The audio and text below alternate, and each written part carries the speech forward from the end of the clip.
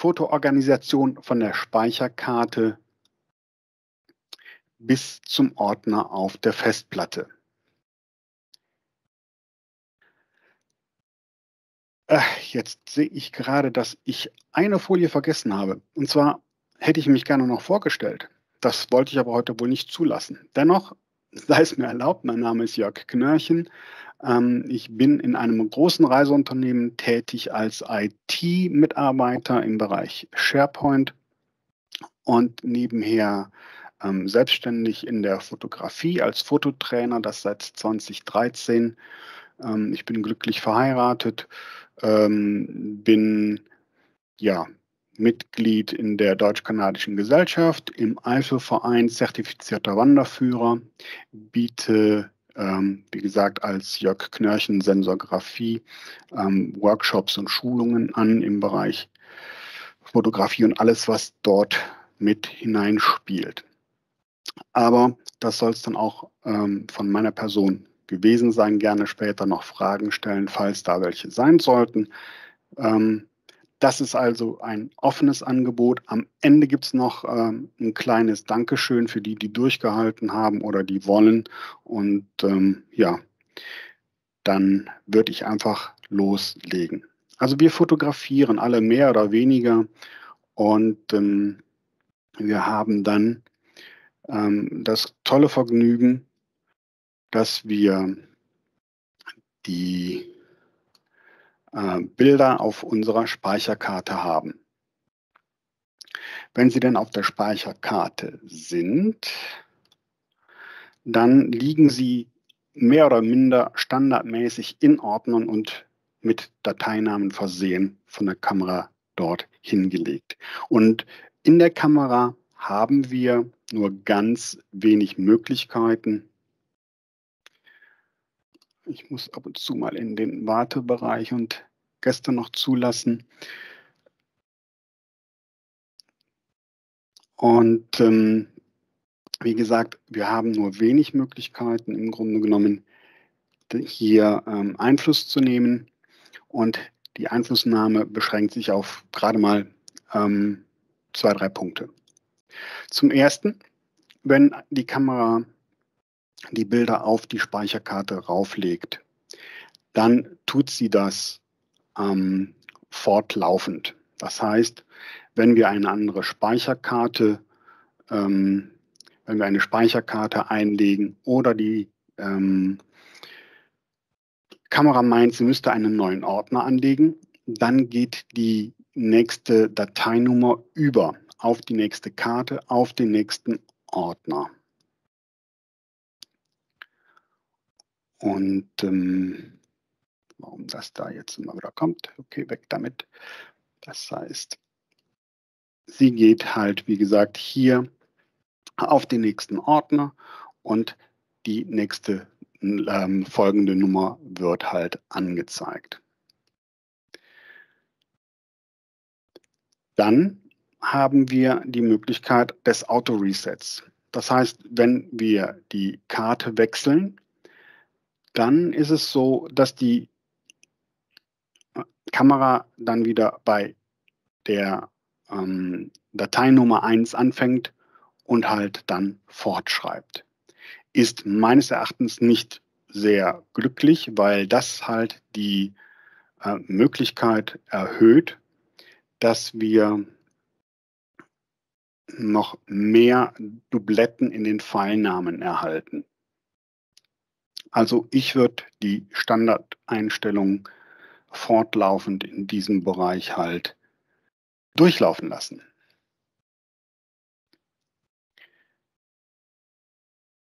So ist es halt auch beim neuen Ordner. Wenn ein neuer Ordner von der Kamera erstellt wird, dann fängt die Kamera bei Auto Reset wieder von vorne an. Wie gesagt, es ist nicht der Standard, sondern Standard ist einfach, dass die Dateinummerierung durchgehend durchläuft. Auch Standard ist es, dass die Kamera, wenn sie Ordner erstellt, und das tut sie ähm, auch nach ähm, Einstellung entweder täglich beziehungsweise ähm, nicht pro Tag, sondern das tut sie täglich oder aber wenn die ähm, Dateinummer halt äh, die 10.000 erreicht und sie wieder bei den Tausendern anfängt. Okay, ähm, wir, wie die Kamera die ähm, Ordner vergibt, das ist also einfach nur eine Zahl vorne und dann ein festes Kürzel, und zwar das der Kamera. Und ähm, es gibt natürlich kleine Abweichungen je nach äh, Modell bzw. nach Marke. Und äh, per Computer hätten wir die Möglichkeit, ähm, halt die, diesen Kamerakürzel hinten ähm, benutzerdefiniert zu verändern. Wobei wir nicht die Möglichkeit hätten, zum Beispiel hier beim Beispiel 100.de AAH, wir könnten jetzt nicht 101 äh, 101.de AAH machen. Ähm, doch, das geht, Entschuldigung, umgekehrt. Es ist so, 100.de AAH geht, aber es würde jetzt nicht äh, gehen, dass wir vorne die Zahl verändern. Deshalb sind auch die Buchstaben hier hinten fett gedruckt. Äh, wir können natürlich auch hier Zahlen und Buchstaben kombinieren hinten, aber die 100 101, 102. Diese fortlaufende Nummer können wir leider nicht ähm, verändern.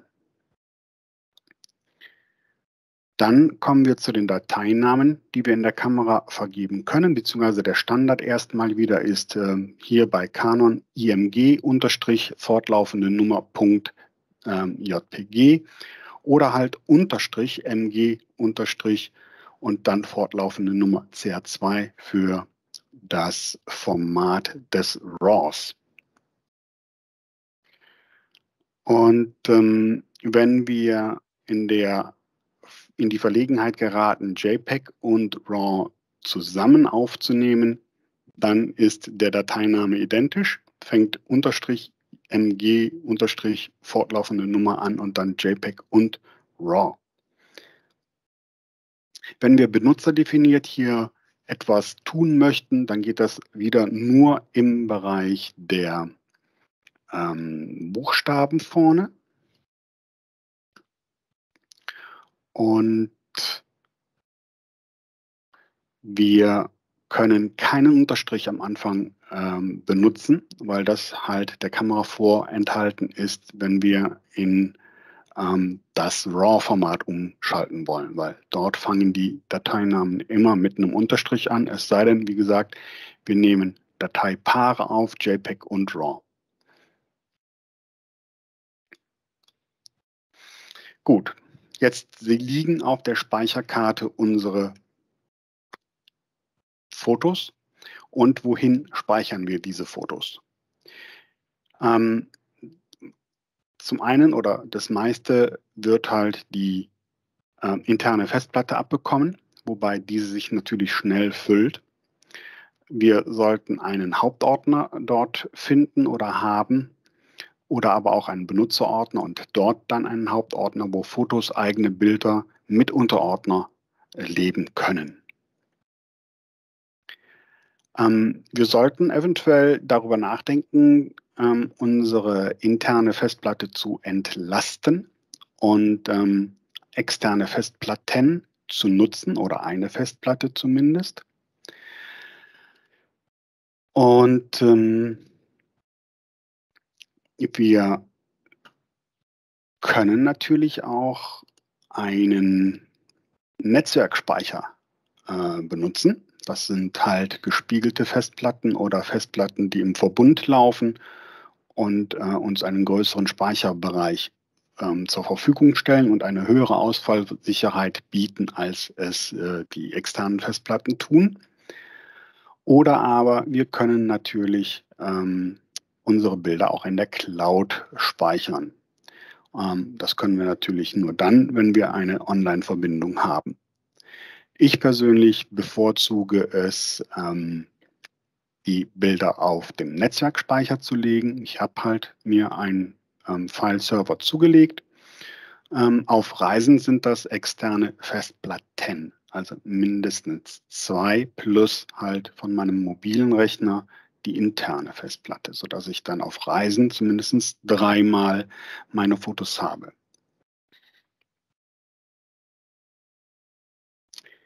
Die Dateiablage am Computer. Zunächst einmal, es gibt kein richtig oder falsch. Es gibt halt nur den Weg im Grunde genommen, so wie wir ihn ablegen. Oder wie wir halt unsere Dateien ablegen. Ähm, jeder kann halt für sich entscheiden, was nun richtig ist. Dabei sollte man überlegen oder sicherstellen, dass jedes Foto nur einmal irgendwo lebt, also keine Duplikate da sind. Warum? Ähm, weil wir bei einer Verschlagwortung oder sonstigen Bearbeitungen und Nachhalten der Datenpflege immer mehrere Ordner berücksichtigen müssten. Die einzige Ausnahme ist halt letztendlich das Backup. Aber dazu kommen wir noch gleich. Wir sollten uns einmalig ein Konzept überlegen und dieses konsequent umsetzen.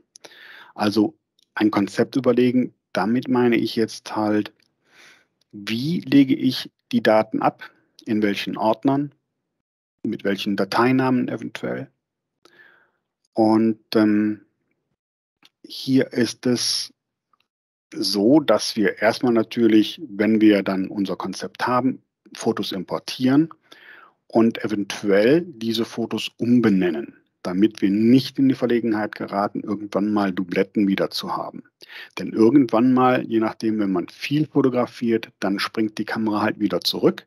Oder hätte man dieses Auto-Reset bei äh, Kartenwechsel, dann hätte man am nächsten Tag wieder gleich lautende Dateinamen obwohl die natürlich ein anderes Dateidatum haben, aber man kommt leicht ähm, in die Bredouille, dass man halt Dateien überschreiben kann. Und das wollen wir halt nicht machen. Jetzt habe ich hier aufgeschrieben, gegebenenfalls RAW-Datei ändern, Stichwort DNG. Das ist äh, jetzt nur ein Thema, das ich mal anstreife, weil da ähm, gibt es auch richtige Glaubenskriege.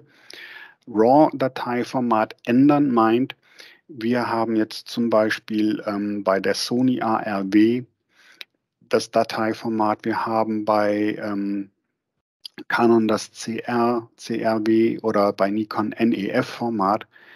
Und ähm, man könnte jetzt davon ausgeben, weil diese Dateien spezifisch sind vom Kamerahersteller, wenn dieser Hersteller einmal nicht mehr existiert und ähm, man hat jede Menge Daten ähm, dieses RAW-Formats, dann könnte es durchaus passieren, dass man irgendwann mal nicht mehr diese Dateien lesen kann. Ähm, mag sein, dass das äh, in ferner Zukunft liegt, aber Adobe bietet hier an, diese RAW-Dateien in ein Digital Negative ähm, Format zu ändern. Und das ist ein globales RAW-Format auch ähm, das wiederum einfach nichts anderes ist als eine Schutzhülle um das eigentliche RAW herum.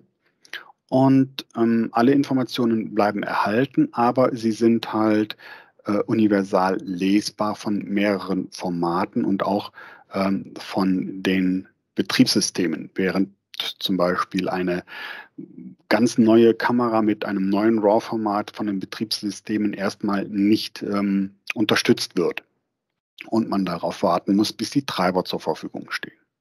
Also nur so als Gedanke.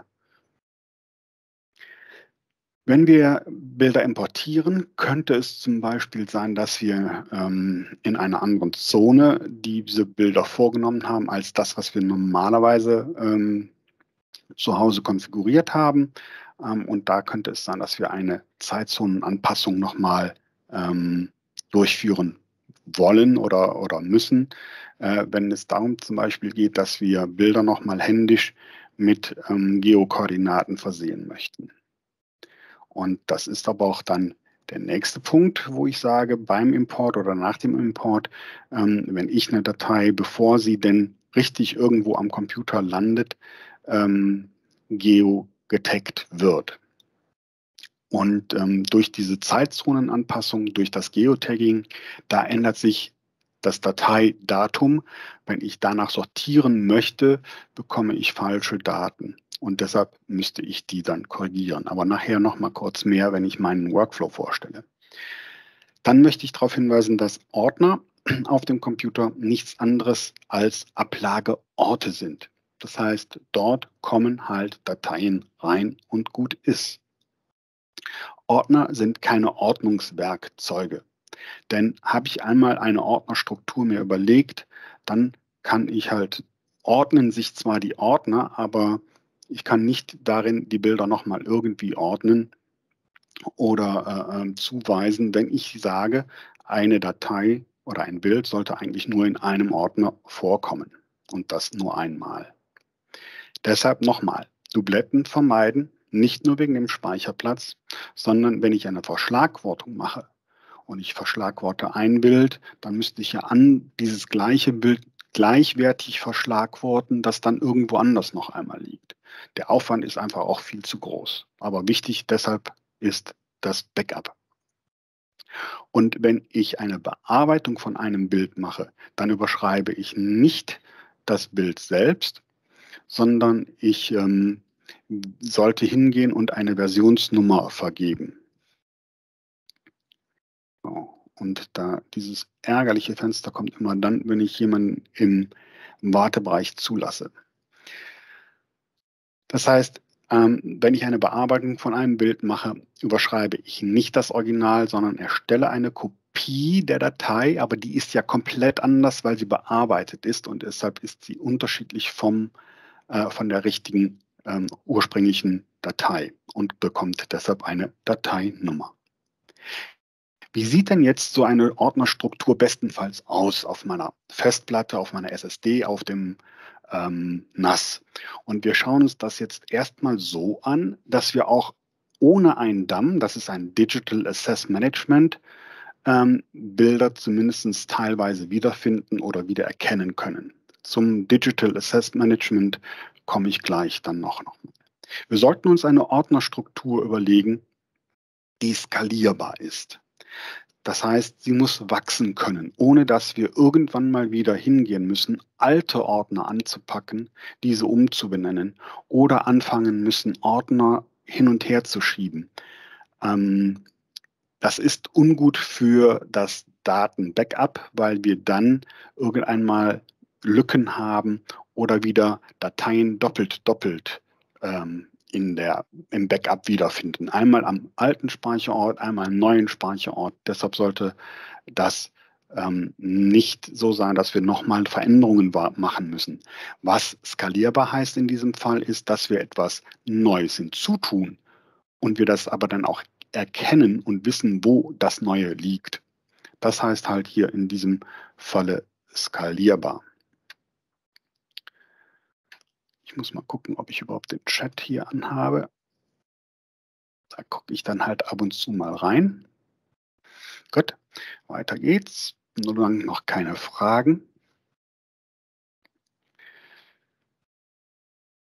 Dann sollten wir darauf achten, dass wir nur Standardzeichen in unserem Ordnernamen nehmen. Und ich habe hier aufgeschrieben, großes A bis kleines Z. Und da gehören jetzt keine sonstigen ähm, Sonderzeichen dazu, auch nicht die deutschen äh, Umlaute. Also Ö, Ä, Ü etc., SZ, all das bitte verbannen. Dann sollten wir uns bei den Sonderzeichen auf Bindestriche und Unterstriche vereinigen, äh, einigen und wir sollten keine Leerzeichen benutzen. Ähm, es gab schon mal eine ganz, ganz große Umstellung. Ähm, ja, ich bin ähm, jetzt äh, bald 53 Ende des Jahres. Ähm, ich habe das halt auch miterlebt. Es gab damals unter Windows ähm, die Dateibeschränkung acht Buchstaben oder Zahlen, einen Punkt und dann die drei, drei, drei ähm, Stellen für eine Dateierweiterung. Größer durften Dateinamen nicht sein. Ähm, wir haben diese Hürde zum Glück nicht mehr, aber Sonderzeichen sind zum Beispiel auf Mac und ähm, Linux-Systemen möglich, aber auf Windows leider nicht. Das heißt, wenn wir auch irgendwann mal in ähm, die Lage kommen, dass wir irgendwie Systemwechsel machen, wäre das halt fatal, wenn wir hier ähm, Sonderzeichen nutzen würden, ähm, die wir dort dann nicht mehr sehen oder äh, gebrauchen können.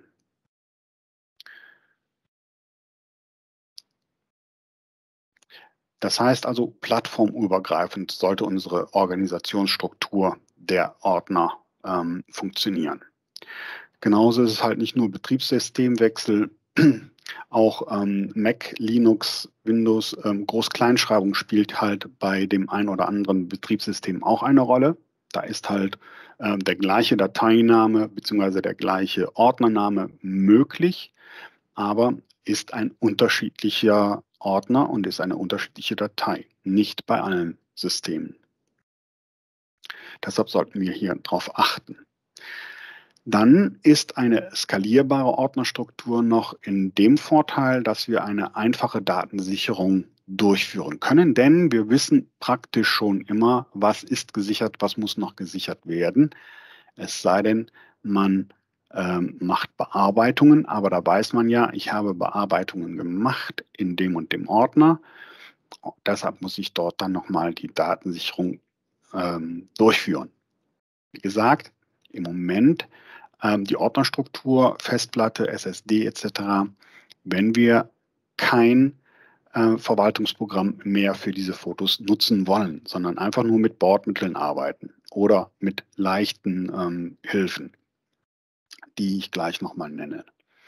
Wir sollten alle Fotos an einem Ort liegen haben können, sprich eindeutige Namen, aber wir wollen natürlich eine Ordnerstruktur aufbauen und wir sollten nicht direkt ähm, Daten auf die Festplatte draufsetzen, ohne vorher einen Ordner, einen Hauptordner zumindest genutzt, genutzt zu haben, weil gerade der erste Ordner kann schon in einem ähm, Datensicherungsverfahren ähm, angewählt werden mit allen Unterordnern, während man, ähm, wenn man nicht die ganze Festplatte ähm, gleich mit der Datensicherung erschlagen will, dann Probleme hat, weil man dann alle Bilder einzeln anwählen muss oder alle Bilder plus oder minus ähm, Ordner, die dort leben können. Also einen eindeutigen Ordner oberhalb anlegen, der mir die, das Leben nachher erleichtert. Dann ist die Frage, wie viele Fotos mache ich denn so im Schnitt? Mache ich sehr viele Fotos, dann sollte ich die Struktur vielleicht gar nicht so tief machen. Mache ich weniger Fotos, dann kann die Struktur schon mal was tiefer sein. Ähm, was ich gleich mit Tiefe der Struktur äh, meine, wird noch klarer. Dann kann ich mir natürlich überlegen, wie baue ich diese Struktur auf? Gehe ich nach Themen? Oder Genre, Personen, Orte. Da sollte ich nur ähm, ein, zwei Sachen beachten, wenn ich das, wenn ich meine Fotoorganisation auf der Festplatte nach Thema, Genre, Person etc. Äh, verfolge. Wo werde ich denn wohl ein Bild dann ablegen, wenn dieses Bild mehrere Themen, Genre ähm, betrifft oder wenn mehrere Personen dort ähm, enthalten sind. Also wenn ich äh, Porträts mache und von Paaren und ich möchte aber auch einzeln, äh, trenne ich die dann? Ähm, ist also so fraglich. Sollte man überlegen, ob es Sinn macht, nach einem Thema, Genre oder Person Bilder auf einer Festplatte abzulegen. Klar ist, dass das für uns, wenn wir das tun würden, natürlich sehr einfach ist, Bilder wiederzufinden. Und ähm, wenn ich Orte habe, was ist, wenn dort unterschiedliche Bilder entstehen? Ähm, Porträts, Makros oder so, die ich in einem Studio mache. Ja, oder Bilder in einem Studio. Also da tue ich mich sehr schwer. Dennoch lasse ich jetzt, sage ich jetzt nicht, Themen sollte man auf jeden Fall verbannen. Ich sage nur, ähm, als Hauptkriterium für Ordner fragwürdig. Die datierte Struktur, die ist in meinem Dafürhalten die sinnvollste und einfachste. Denn wenn wir Ordner mit einem Datum versehen, dann können wir sortieren und zwar chronologisch, aufsteigend oder absteigend.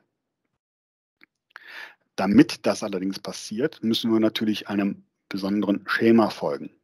Und zwar auch erst einmal für Monate, Tage und Jahre immer Zahlen verwenden. Also nicht äh, Montag, Dienstag oder Mai, Juni, Juli, sondern nur Zahlen. Wir haben also einen Hauptordner, so wie ich es eben vorgeschlagen habe. Das heißt, dort kommen dann unsere Fotos rein. Nein, nicht ganz, weil wir haben ja eine Ordnerstruktur. Das heißt nicht nur der Hauptordner, sondern dann die nächste Überlegung wäre, habe ich berufliche und geschäftliche Fotos oder habe ich nur private oder nur geschäftliche? Dann, wenn ich beides habe, sollte ich vielleicht überlegen, zwei Strukturen aufzubauen unterhalb des Hauptordners und dort dann privat einen Ordner anzulegen, einen geschäftlichen Ordner und dann das, was ich jetzt vorstelle, eventuell. Auch hier, was ich vorschlage, ist halt kein äh, Muss und ist ähm, auch nicht richtig und ist auch, aber auch nicht falsch. Es ist halt nur für mich zumindest sehr ähm, zweckführend. Ich schlage vor, fangt mit einem Jahr an. Darunter halt ein Monat und dann vielleicht das Thema. Wenn ihr viele Fotos macht, wenn ihr weniger Fotos macht, dann könntet ihr auch vielleicht sagen, ja, Monat, Tag und dann das Thema. Wo ich allerdings noch mehr zugehe, weil ich muss ja jedes Mal klicken, um in einen Ordner reinzukommen. Deshalb ist meine Alternative einfach ähm, das Jahr, Monat, Tag zu nehmen, einen Unterstrich zu setzen und dann das Thema als ein Ordner. Und wenn ein ähm, Datum oder eine Reise oder ein Thema über mehrere Tage hinweg geht, dann kann ich hingehen auch und sagen, zum Beispiel 2015, 09 steht hier halt für den September, 25. September bis zum 17. Oktober. Da ist eine Null zu viel. Ne? Das hat aber auch keiner in den Chat reingeschrieben. Ja, die Beispiele kommen jetzt gleich. Ähm, so, das erste Beispiel ist halt, dass der Ordner oder dass ein Ordnername nicht hier in, in einer Struktur liegen kann. Er kann auch flach sein, ein Ordner, wie gesagt, mit diesem Namen hier. Dann könnten wir überlegen, ob wir nicht Mischformen machen. Genauso wie wir oben gesagt haben, wir machen privat geschäftlich. Ich kann halt Mischformen hingehen und sagen, okay, ich habe einen ähm, Hauptordner mit meinen mit Bildern, also Fotos, Fotografie, Bilder, eigene Bilder, dann einen Ordner ähm, Urlaube. Und dann fange ich mit Jahren an oder halt, ich sage, wie hier unten schon steht, persönlich äh, versus privat, wie oben, Hochzeiten, Events etc. Dann könnte ich hingehen, wenn ich ähm, ein Reisefotograf bin, ich kann anfangen und sagen, okay, Kontinent, Land, Ort, und dann je nach Jahren, Monaten, Tag und dann halt dem Schema oben mit erfolgen. Wie gesagt, diese Mischformen sind halt denkbar. Man sollte halt nur möglichst hoch vom Begriff her ansetzen und ähm, nicht ähm, zu abstrakt werden oder zu, zu tief gehen. Ähm, das kann man dann letztendlich dann bei dem Dateinamen nachher noch nachholen, wenn man möchte. Oder Jahr, Urlaube, Ort und dann das Jahr für Urlaubsfotografie, Hochzeiten, wenn man Hochzeitsfotograf ist oder Eventfotograf, ähm, große Eventkategorien wie Hochzeiten, Geburtstage, äh, Jubiläen, was auch immer, dann nach Jahren chronologisch sortieren. Ähm, unter Umständen hat man natürlich dann auch äh, mehrere Hauptordner, nicht nur einen. Dann halt, ähm, was ich mache, ist vermehrt ähm, meine Original, originale Dateien, Arbeitskopien oder aber auch Dateiformate und Kameras zu trennen. Sprich, ich hätte jetzt Jahr, Monat, Tag oder wie hier oben halt ähm, hier in Orangen diese ähm, Hauptordner, diese großen Ordner und dann darunter halt ähm, RAW, äh, JPEG, ähm, JPEG und dann Kamera oder umgekehrt Kamera und dann erst JPEG. Ähm, das kann ich mir halt überlegen. Und dann haben wir auch wichtig ähm, einen separaten Ordner für Bearbeitungen, weil dann weiß ich, okay, wenn ich eine Datensicherung noch machen muss, die Dateien liegen dann in den Bearbeitungen. Und da kann ich halt auch sagen, okay, Bearbeitungen ähm, HDR oder Panorama, was auch immer. Und dann sieht so eine Struktur letztendlich, wenn ich sie à la ähm, Jahr, Monat, Tag durchführe, so aus. Ich habe hier oben meinen eigenen ähm, eigene Bilder. Ich mache jetzt keine Trennung zwischen privat und geschäftlich in diesem Fall. Habe meine Jahreszahlen, habe dann ähm, von Januar bis Dezember durchnummerierte Ordner. Innerhalb dieser Ordner fange ich dann an mit Tag und Thema. Wie gesagt, das ist eine Struktur, die halt ähm, sehr einfach ist aber sehr in die Tiefe geht. Und ähm, mittlerweile, wie gesagt, ähm, speichere ich meine Dateien halt nach dem Schema hier ab. Ähm,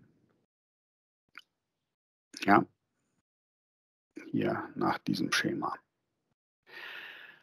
Und hier, weil ich sagte, äh, das geht ganz schön in die Tiefe, gibt es nämlich dann nochmal in jedem dieser Tagesordner die Ordner für meine Bearbeitungen, HDR, Panoramas, Schwarz-Weiß, ähm, dann die Original JPEG-Dateien. Hier bei der Hochzeit hatte ich mehrere Kameras dabei und habe gleichzeitig JPEG RAW fotografiert, ähm, sodass ich wirklich viele Ordner habe, ähm, die zwar für die Struktur gut sind und auch für die Ablage der Bilder sehr dienlich, ähm, aber ich müsste halt doch nachher wieder anfangen zu suchen. Und auch bei den Dateinamen, wenn also die Dateinamen angelegt werden, sollten wir wieder darauf achten, dass wir die Standardzeichen verwenden. Also groß A bis Z, ähm, keine Umlaute, kein SZ, ähm, keine sonstigen ähm, Sonderzeichen, nur Bindestrich, Unterstrich, auch keine Leerzeichen. Ähm, hier wird es dann auch nochmal wichtig, dass wir, wie gesagt, eindeutige Namen haben. Das könnte jetzt, wenn man das Ordnerschema, was ich vorher überlegt habe, ähm, sprich ähm, Hauptordner Fotos, dann das Jahr, dann würde ich ähm, Ordner anlegen halt mit dem Datum und dem Thema. Das wäre in dem Fall ein Ordner 2020 0503 Wandern Eifel. Darin würden dann solche Dateien wiederzufinden sein. Und wenn ich mit mehreren Kameras arbeite, würde halt, ähm, wie hier hinten im Beispiel, nochmal ein Kamerakürzel ähm, mit in den Dateinamen reinwandern. Nicht nur, weil das hier Wandern Eifel ist.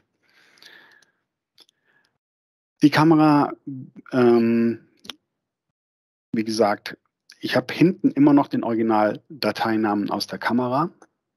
Aber dadurch, dass ich vorne halt etwas hinzufüge, ähm, vermeide ich, selbst wenn die Kamera wieder bei äh, Bild 0001 ankommen würde, ein Überschreiben meiner Dateien. Selbst bei, einem, bei einer komplett ähm, äh, äh, ähm, ja, flachen Ordnerstruktur, sprich ein Ordner, wo Fotos überhaupt reinkommen. Aber dadurch habe ich halt eindeutige Namen, ich überschreibe nie was äh, wenn ich irgendwas hinkopiere, weil das immer eindeutige Namen sind.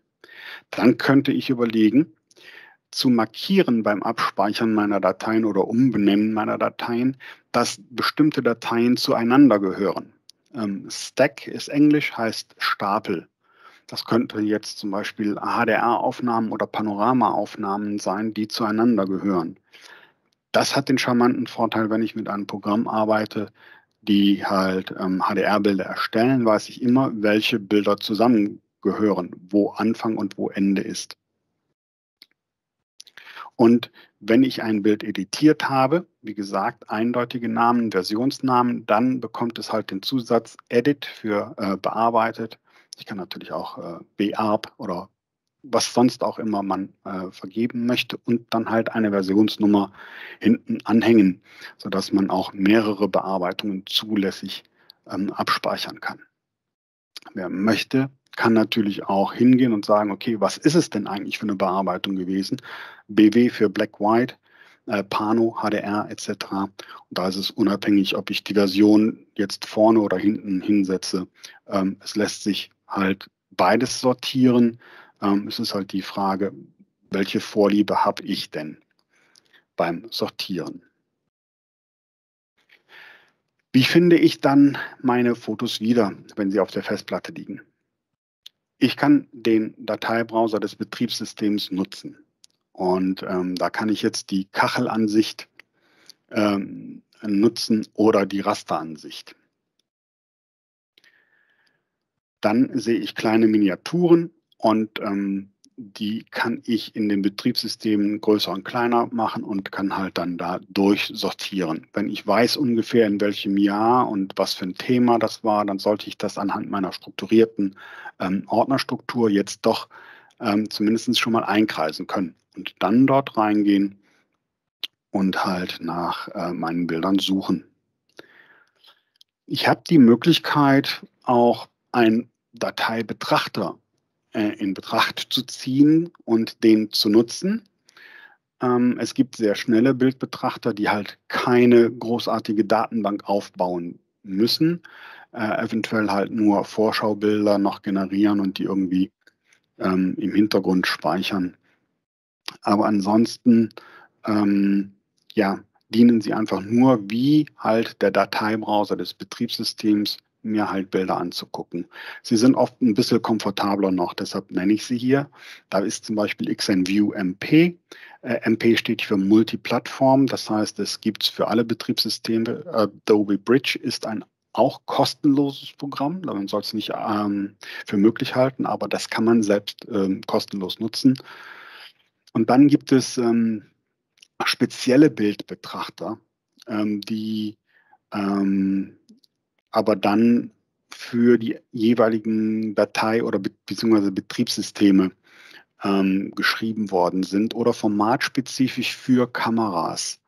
Ähm, unterstützen meistens mehrere Kameras, aber es gibt zum Beispiel ähm, ähm einen Browser, der kann halt bestimmte RAW-Formate, die ähm, halt Apple immer noch nicht unterstützt, aber dieser Betrachter kann halt diese Bilder lesen und ermöglicht mir dann halt doch die Bilder ohne ein anderes Programm auf dem Ordnersystem äh, meiner Festplatte oder meines äh, NAS halt wiederzufinden und ähm, zu betrachten, ohne, wie gesagt, ein besonderes Programm zu haben. Dann bieten sich natürlich die ähm, Betriebssystemmäßigen ähm, Betrachter an, die allerdings nicht nur Betrachter sind, sondern natürlich auch schon ähm, kleinere Bearbeitungsschritte zulassen, ähm, Bilder drehen und so weiter und so fort und, und, und Ausschnitte machen, was weiß ich nicht, aber darauf geht's, darum geht es ja heute gar nicht. Ähm, das Fotos von Mac hat allerdings den Nachteil, dass wir die Festplatte wieder verlassen, weil wenn wir die Bilder in das Foto in Fotos reinziehen, dann werden sie A in die Cloud, wenn man es ähm, so eingestellt hat, wieder synchronisiert und man verliert die Ordnerstruktur. Das ist also eine eigene Datenbank, ein ab, abgeschottete Welt. Deshalb würde ich da eventuell gar nicht ähm, erst äh, Fotos nutzen. Die Fotos-App von Windows 10 kenne ich leider nicht. Ich habe sie nur, habe nur gesehen, dass es halt sowas gibt. Es gibt mit Sicherheit auch für Linux entsprechend ähm, ein Programm.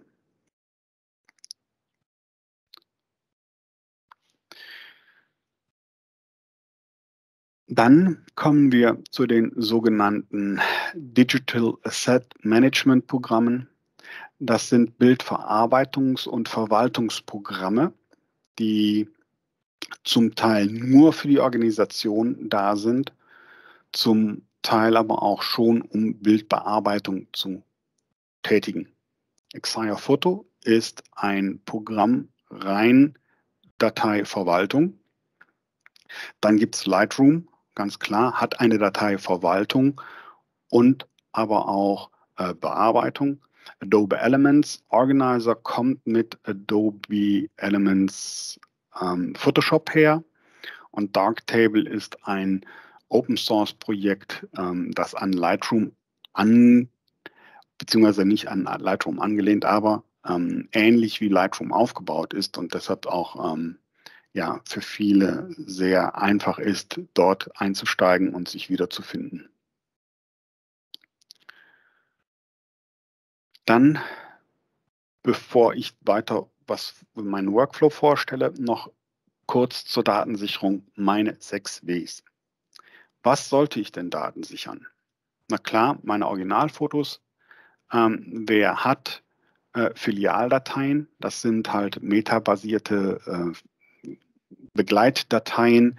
Darin stehen halt alle aufnahmerelevanten ähm, Dinge, beziehungsweise Stichworte etc., Bewertungen, wenn man möchte, ähm, Geodaten, ähm, Aufnahmedaten, ähm, die natürlich auch als EXIF vorliegen, aber man kann diese EXIF-Daten und ähm, IPTC-Daten auch in eine Filial- oder Sidecar-Datei ablegen und die ist dann meist eine XMP-Datei.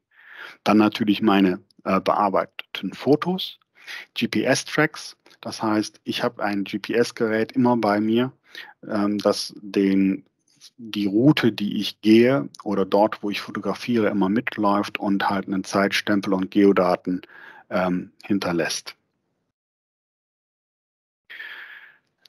Dann ähm, habe ich, Moment, dann habe ich ähm, halt noch ähm, Videos, die ich mache. Und ich muss ähm, die ähm, Datenbank meiner, meines DAM-Programms, ähm, sprich Lightroom oder Xire, halt auch noch sichern, damit ich die Arbeit, die ich in die Verschlagwortung stecke, ähm, halt nicht verliere. Das nächste W ist das, wo speichere ich meine Daten denn hin, beziehungsweise meine Datensicherung. Ähm, hier kommt es auf das Medium an. Ich könnte jetzt hingehen und meine Bilder auf Blu-rays, DVDs, auf andere Festplatten ähm, speichern oder in die Cloud nochmal zusätzlich sichern, auf ein Tape oder setze ich eventuell mehrere File-Server ein. Was ich beachten sollte, ist ähm, die Größenbeschränkung. Das heißt, wenn ich auf DVD oder Blu-ray speichere, dann ist das vielleicht gar nicht mal so sinnvoll, weil ich dann einen Schrank voll DVDs und Blu-rays habe, weil da nicht so viele Bilder draufgehen, wie ich fotografiere. Aber auch da kommt es darauf an, wie viele Fotos mache ich im Jahr oder wie viele Fotos mache ich, wie viele Sessions muss ich machen, bis ich äh, eine Blu-ray voll kriege, beziehungsweise es könnte sein, dass ich pro Session schon alleine mehrere Blu-rays abspeichern müsste. Ähm, wäre zu überlegen, ob man da nicht eine äh, andere externe Festplatte oder SSD hernimmt und dort drauf speichert. Die Frage ist auch, wie lange werden diese Medien eventuell unterstützt? Also ich weiß gar nicht, ob ähm, es noch viele gibt, die Tapes kennen. Ähm, ist auch eine Speicherlösung, die heutzutage noch ähm, gemacht wird, aber äh, eher doch in großen Datencentern mit riesigen Tapes und ähm, das ist auch relativ teuer äh, für den Privatgebrauch. Mein, ähm, mein, äh, meine Empfehlung sind halt externe Festplatten. Ups, Entschuldigung. Wie? Also ich kann manuell kopieren natürlich immer ähm, mit dem Bordmitteln der, ähm, des Betriebssystems. Das heißt, ich müsste ähm, den File-Browser, den Explorer nehmen und halt händisch hin und her kopieren, beziehungsweise Ordner anfassen, rüber kopieren auf die andere Festplatte. Dort sollte dann gespiegelt die Gleichstruktur natürlich liegen. Oder aber, wenn ich den Import von einem DAM nutze, dann kann ich unter Umständen direkt ähm, auf mehrere Datenträger kopieren in einem Vorgang. Das heißt, ähm, auch äh, beim Importprogramm von Canon ist es so, dass ich dort einen zweiten Datenträger noch angeben kann. Das heißt, von der Speicherkarte über den Computer auf die interne Festplatte zusätzlich noch auf eine externe Festplatte kopieren.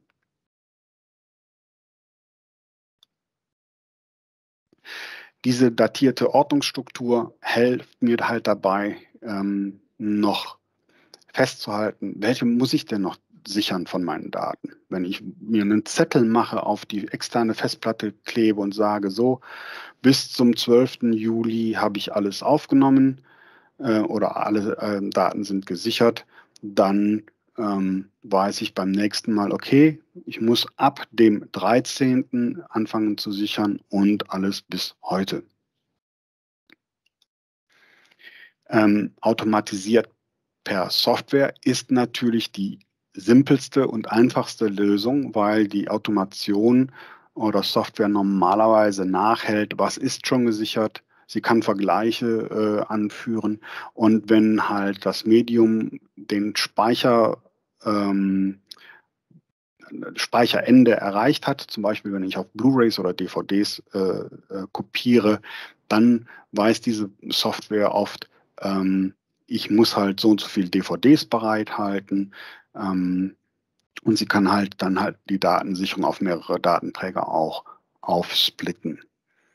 Und es ist natürlich einfacher, ähm, die Sicherung zu machen, weil ich dann beim nächsten Mal immer nur hingehen muss und sage so, neue Sicherung, die das, ähm, Software weiß, was war gesichert, wo muss ich weitermachen.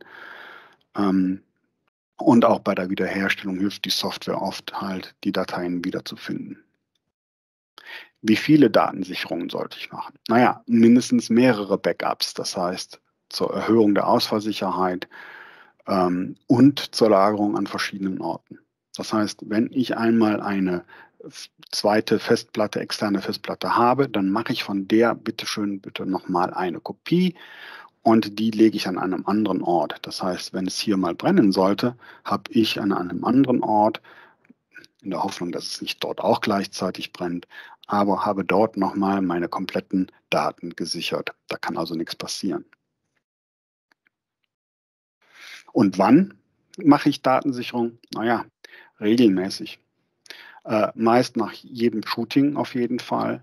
Insbesondere, wenn ich eine größere Session an Bearbeitungen durchgeführt habe äh, und dann ähm, halt, wenn ich ähm, die Filialdateien, sprich wenn ich Verschlagwortung verändert habe ähm, und wenn ich generell irgendwas getan habe mit meiner, ähm, mit meiner Datenbank-Software, also Lightroom oder Exia etc., dann nochmal eine Datensicherung gucken, ähm, dass die Daten auch aktuell sind. Denn äh, wenn ich die Mühe mir mache und mich dazu aufraffe, wirklich ähm, am Ball zu bleiben, dann möchte ich doch nicht wieder irgendwann mal von Null anfangen. Und deshalb ist eine Datensicherung halt sehr, sehr wichtig. Und das letzte W ist die Wiederherstellungsprüfung.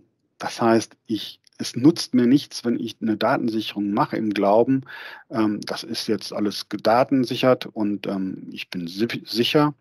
Die Frage ist, lässt sich das Medium denn überhaupt noch lesen? Kann ich von dort aus wieder eine Kopie erstellen, zurück auf meinen Computer oder auf eine andere Festplatte etc.? Denn irgendwann mal kann ich vielleicht, muss ich vielleicht auch eine, äh, umkopieren, weil die Festplatte zu klein geworden ist oder das lasse ich lieber ganz und nehme einfach neue Festplatten dazu.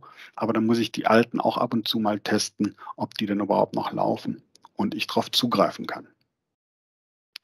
Also, ein Digital Asset Management, meine Fotoverwaltung oder Katalogisierung außerhalb der Ordnerstruktur. Das heißt, all das, was wir jetzt besprochen hatten, ist etwas, was wir auf jeden Fall tun müssen.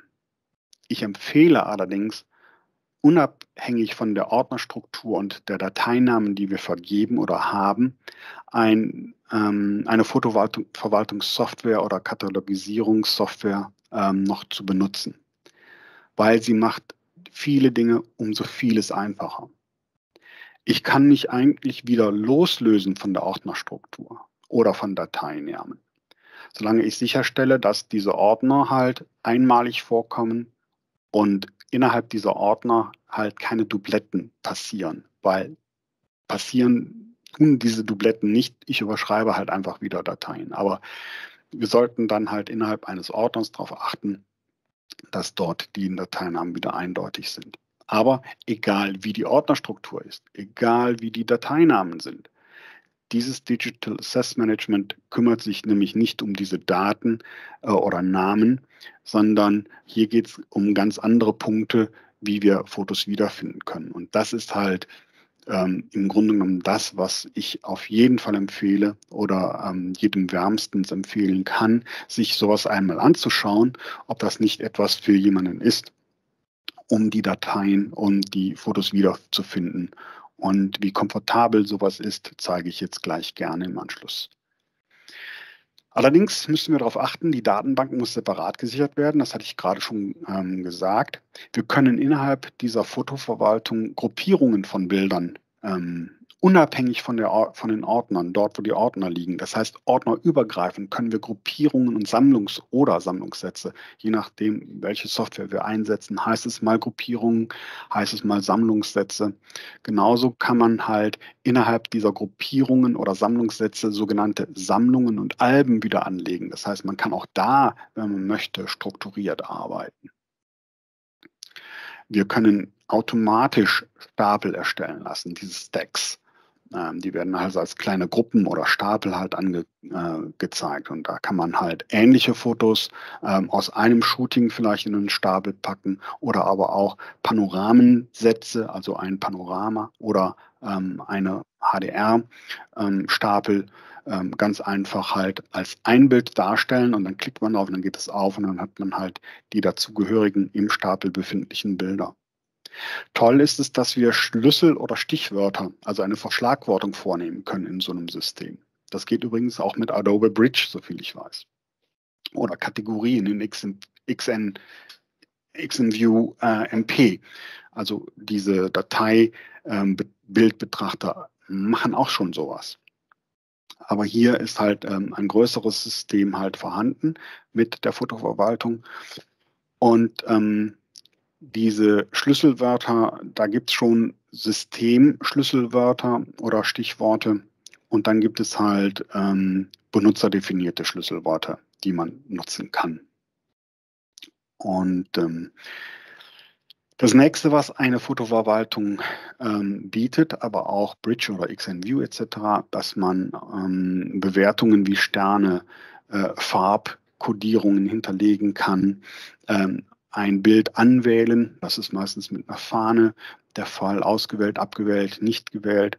Und dass diese Digital Asset Management Programme ähm, verwertbare Zusatzinformationen aus den Metadaten ziehen. Das heißt, für uns lesbar und erkennbar halt ähm, ähm, anzeigen, wann ähm, ist das aufgenommen worden, ähm, mit welcher Kamera, welche Datei äh, welche, äh, welche Dateiname ähm, das Originalbild hat.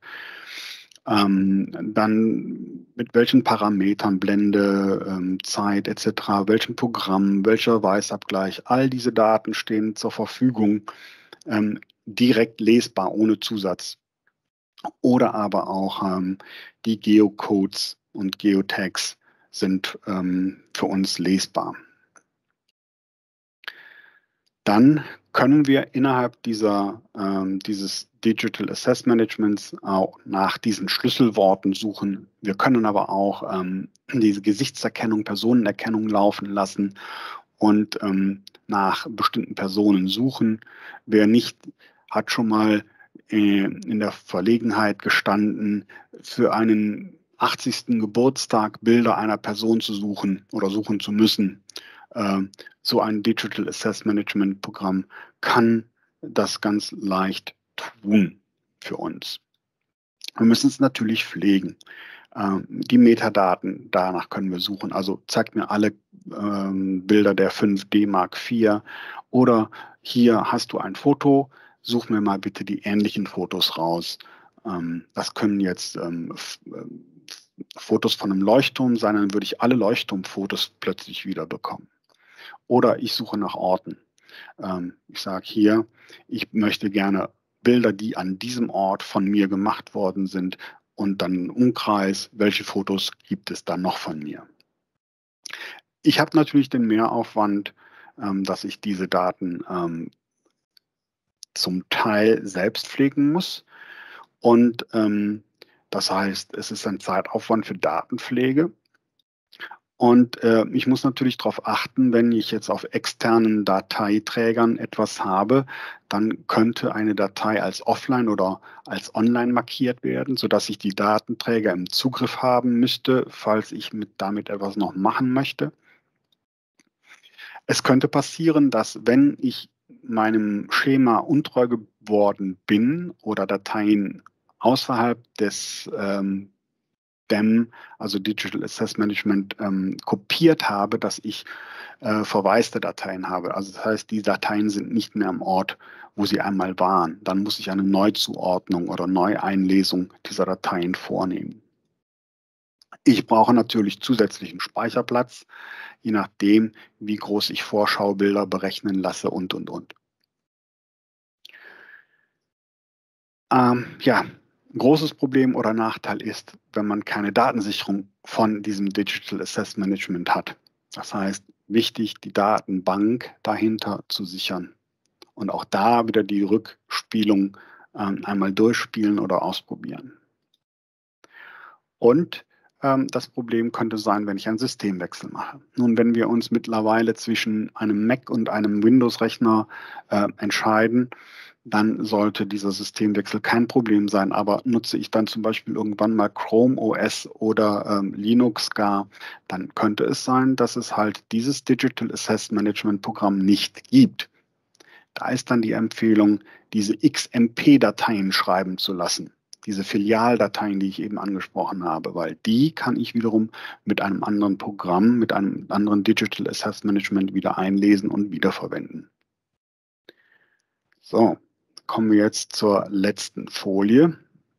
Und ich gucke mal gerade nochmal in den Chat, ob es da etwas gab. Gut, soweit noch nicht. Ja, wie sieht denn mein Workflow aus? Klar, ich fotografiere. Äh, nach dem Fotografieren oder während des Fotografierens vielmehr, ähm, mache ich ein Foto von meinem GPS-Gerät. Das kann ich gleich auch nochmal zeigen, wie das dann aussieht. Da habe ich auf jeden Fall sekundengenaue Zeit und Datum drin. Und das mache ich pro Kamera. Hintergrund ist das. Ähm, ich habe mittlerweile Kameras, die haben intern ein GPS. Da lass, verlasse ich mich allerdings nicht drauf, sondern ich habe ja eh mein Wander-GPS, mit dem ich losziehe. Und da mache ich halt mein Bild von. Das heißt, ich habe egal ob ich vergesse in meiner Kamera nachher das Datum immer zu aktualisieren, gerade so um ne, Winterzeit, Sommerzeit oder ähm, ich fliege mal nach London, eine Stunde Zeitverschiebung, habe es vergessen. Ähm, wenn ich das vergessen habe oder selbst ähm, innerhalb von einem Tag oder zwei, da kann die ähm, Systemuhr der Kamera schon mal ganz anders gehen als mein GPS. Ich habe also ein GPS-Gerät mit Referenz und jede Kamera, mit der ich Fotos mache oder auch mit der ich Videos mache, da wird halt ähm, der Zeitstempel einmal abfotografiert. Und das ist ja egal, es muss nicht zur gleichen Zeit sein, es muss nur immer wieder das gleiche GPS-Gerät sein und halt äh, mit jeder Kamera einmal ein Bild davon gemacht zu haben. Dann habe ich alle Kameras nachher wenn ich meine ähm, Bildbar, äh, wenn ich meine ähm, Zuordnung gemacht habe zum GPS, ähm, habe ich alle Bilder in chronologischer Reihenfolge zum Zeitstempel. Ähm, ist ja also egal, mit welcher Kamera ich wann ein Foto mache. Ich weiß genau, das Foto ist zuerst gemacht worden mit der Kamera, dann war die Kamera dran, war jenes äh, dran. Also sehr charmant. Dann bin ich in der Tat gehe ich hin und kopiere die Fotos mit Bordmitteln. Das mache ich im Fall jetzt hier mit meinem Mac-Rechnern und meinem MacBook äh, über Forklift. Das ist sowas wie der Norton Commander, wer den noch kennen sollte. Ähnliche Programme gibt es halt ähm, in, in Windows und, und Linux auf jeden Fall. Und ich nutze einen Kartenleser. Das heißt, ich hole die Karte raus aus der Kamera, weil die Kamera selbst ähm, kann da kann ich zwar auch anschließen, aber es dauert mir zu lange also die normale Kartenleser. Und dann erstmal lokal auf die interne Festplatte in einem Zwischenordner. Es ist auch noch nicht der finale Ordner. Denn ich nutze Ustageo oder alternativ kann man auch Lightroom oder für Windows Geosetter, GPixSync, Geophoto, AnyGeotagger ähm, nutzen, um halt jetzt vom GPS die Koordinaten zu übertragen mit dem Zeitstempel auf ähm, das Foto, das jeweilige Foto. Ähm, wie gesagt, dazu nutze ich Ustageo. In Ustageo kann ich die Zeitzonenanpassung machen. Das heißt, ich bin, ähm, muss halt immer schauen, äh, welche Zeit hatte das ähm, GPS. Ähm, eventuell stimmen da die Zeitzonen nicht. Das ähm, findet man aber dann sehr schnell raus und dann kann man die Zeitzone anpassen. Das heißt, man kann dem Programm sagen, du, äh, alle Fotos, die du vorfindest, sind minus eine Stunde oder plus eine Stunde, je nachdem, ob man nach Ost oder West reist.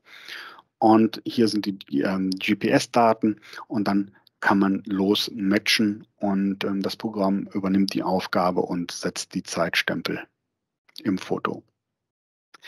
Da ähm, die, das Dateidatum sich dort auch ändert oder ich die Fotos umbenennen möchte, brauche ich noch zwei Dinge. A, einmal das Foto selbst umbenennen nach dem Schema, das ich eben vorgestellt habe, eventuell. Da nutze ich dann a Better Finder Rename für Mac. Ähm, alternativ Bulk Rename Utility ähm, aus England für den PC und in Irfan View, ein kostenloses Programm, geht das wohl auch. Dann habe ich aber selbst wenn ich dann halt die Umbenennung der Fotos mache, dann habe ich immer den jetzigen Zeitstempel. Das heißt, ich muss das Dateidatum, muss nicht, aber ich persönlich möchte gerne das korrekte Datum der Datei wieder herausholen und das ist das aus dem XIF-Tools und da ähm, oder auf, aus dem XIF-Daten und als Alternative zu Better Finder, äh, Better Finder Attributes, was ja wieder Mac ist, ähm, XIF-Tools, da gibt es auch ähm, Benutzeroberflächen zu ähm, für Windows und auch für Linux oder halt Irfan View. Das kann ich halt hier auch machen. Ich kann gerne auch, ähm, wer möchte, ähm, nachher noch äh, die Links zu den Programmen ähm, teilen. Und dann erst kommen die Dateien auf den finalen Speicherort. Das ist hier zu Hause natürlich ähm, der, der NAS-Server. Wenn ich den natürlich nicht dabei habe, sind es, ist es erst einmal der ähm, Fotos-Ordner auf dem MacBook, dann halt als mit Backup-Software oder aber auch händisch, je nachdem, mit Forklift wieder oder Bordmitteln auf zwei externe Festplatten, die ich mitnehme. Und heutzutage kann man so eine externe Festplatte ja hier ne, in die äh, Brusttasche oder ins Handtäschchen der äh, mitreisenden Frau oder des, des, Kollegen oder in den Fotorucksack und das andere in, die, äh, in den Koffer tun, sodass man die auch hier wieder getrennt hat, andere Taschen etc. Falls was sein sollte mit dem Gepäck, ähm, sind, wird halt ein Backup gemacht. Und wie gesagt, ich speichere hier auf NAS mein NAS hat einen, äh, eine Software laufen, die halt turnusmäßig ähm, die Backup-Software äh, startet und es wird auf zwei externe Festplatten von dem NAS herunter kopiert, einmal in einen Master und einmal in eine zweite Kopie. Die Kopie-Festplatte, äh, ähm, die nehme ich von Zeit zu Zeit raus nehme sie an den Ort, wo ähm, ich meine externe Festplatte extern hinterlege, nehme dort die andere wieder mit und mache halt hier ähm, eine, äh, die, die zweite Kopie fertig, sodass ich immer ähm, extern auf jeden Fall eine habe und während ich hier zwei Festplatten habe, ist trotzdem extern noch die dritte. So ist meine Backup-Strategie. Und ähm, wie gesagt, ich muss immer schauen, dass die äh, externen Festplatten auch laufen und eine Rückspielung möglich ist. Und dann, wenn sie auf dem finalen Speicherort liegt, die Datei, das Bild, dann wird es erst in Exia eingelesen oder in Lightroom. Dann ähm, lösche ich aus Exia oder Lightroom wieder die Fotos und da kann ich auch sagen, ob ähm, halt auf dem NAS oder auf der externen Festplatte das Foto auch gelöscht werden soll. Aber vorsichtig halt, ähm, dass man halt nicht zu viel löscht. Löschen meine ich jetzt die Bilder, die ich partout nicht mehr brauchen werde. Dann bewerten, Verschlagworten äh, Bild optimieren, bearbeiten, exportieren und gerade, wie gesagt, wenn ich optimiert habe, bearbeitet habe, muss ich die Fotos eventuell wieder neu einlesen, aber nur noch die Differenz, das heißt die bearbeiteten, die verschlagworteten und dann sind sie wieder in äh, meiner, meinem DAM, also meinem Exire oder Lightroom wieder drin. Ja, und wie gesagt, Backup läuft automatisiert bis auf den Plattentausch. Das äh, muss ich immer noch machen, also die Platten hin und her ähm, stecken und rausnehmen und auch in dem externen ähm, Platz legen. So, wir haben ein bisschen überzogen. Es tut mir leid. Ich hoffe, es war trotzdem kurzweilig, verständlich. Ähm, wie gesagt, jetzt kommen wir in die Fragerunde. Jetzt hier noch einmal für die, die durchgehalten haben, die, die sich Exire anschauen wollen. Und ich kann gerne jetzt gleich Exire auch noch kurz vorstellen. Das ist, wie gesagt, ein Verwaltungsprogramm, das Hand in Hand mit Lightroom geht, als Xire Search 2 oder als eigenständiges Programm, die, die nicht mit Lightroom arbeiten wollen, ähm, die können halt Xire Photo als eigenständiges Programm äh, nutzen und einsetzen. Ansonsten gibt es das halt auch als Bundle und als Bundle kostet es, glaube ich, um die 90, 99 Euro. Äh, mit Sensorgrafie 10 als Gutscheincode eingeben, erhält man 10% Ermäßigung.